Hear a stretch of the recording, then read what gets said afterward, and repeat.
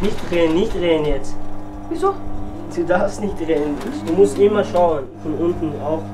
Äh, okay. Der Faden. Der Faden. Danke. Bitte. Mein Leben in Afghanistan. Habe ich Arbeit angefangen. Sechs Jahre, sieben Jahre war ich. Als Schneider.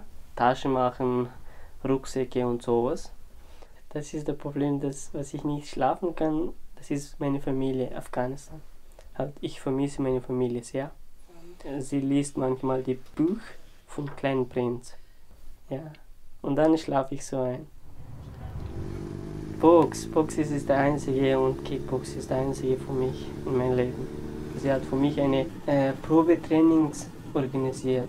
Das war sehr, sehr für mich gut. Und diesen Sport werde ich weiterentwickeln.